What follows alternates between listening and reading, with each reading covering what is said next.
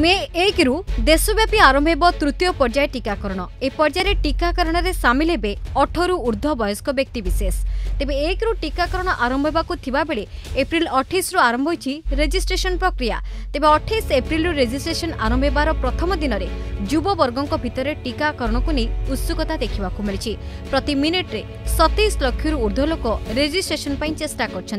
ফলে registration site crush V স্থিতি উপুজিছে এমিতিকি ইউজর্স মানে সাইট କାମ କରୁନଥିବା ନେଇ ସୋସିଆଲ ମିଡିଆ ମାଧ୍ୟମରେ ଅଭିଯୋଗ କରିଥିବା ବେଳେ ଆରୋଗ୍ୟ ସେତୁ ଆପ୍ ପକ୍ଷରୁ ଏନେଇ ସ୍ପଷ୍ଟୀକରଣ ଦିଆଯାଇଛି ଅନ୍ୟପଟେ ସରକାରୀ ବେସରକାରୀ ମେଡିକାଲରେ ଟିକାକରଣକୁ ନେଇ ସିରୁଲିଂ ହୋଇନଥିବା ବେଳେ ୟୁଜର୍ସମାନେ ଏନେଇ ସନ୍ଦେହରେ ରହିଛନ୍ତି ସେପରି ମହାରାଷ୍ଟ୍ର କର୍ଣ୍ଣାଟକ ଓଡ଼ିଶା ସମେତ ଉଣେଇଶ ରାଜ୍ୟ ଅଠରରୁ ପଇଁଚାଳିଶ ବର୍ଷ ବୟସ୍କଙ୍କୁ ମାଗଣା ଟିକା ଦେବା ନେଇ ଘୋଷଣା କରିସାରିଛନ୍ତି ବ୍ୟୁରୋ ରିପୋର୍ଟ ଅର୍ଗସ୍ ନ୍ୟୁଜ୍